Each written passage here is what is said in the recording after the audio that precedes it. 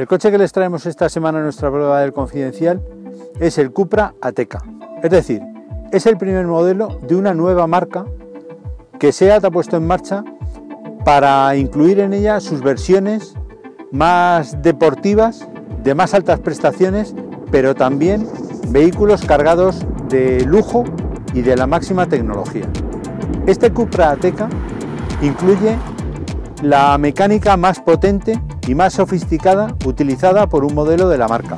Motor de gasolina con turbo, 300 caballos de potencia, tracción a las cuatro ruedas y cambio DSG de doble embrague.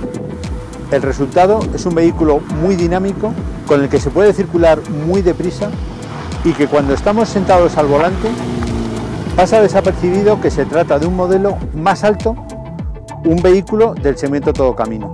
Lo que SEAT busca con esta nueva marca, posicionada en la parte más alta del mercado, es competir contra el segmento premium.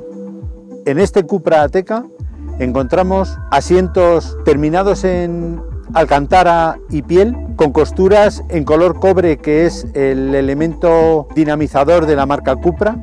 También encontramos el cuadro de instrumentos digital con una pantalla configurable en la que podemos encontrar cuatro o cinco modos diferentes de visualización, además de incluir el navegador en el centro de la pantalla. También encontramos un sistema para seleccionar diferentes modos de conducción en los que, además de todos los habituales, hay uno añadido que es el Cupra. Este modo de conducción es el más radical, el más dinámico, con el que se consiguen las mejores prestaciones.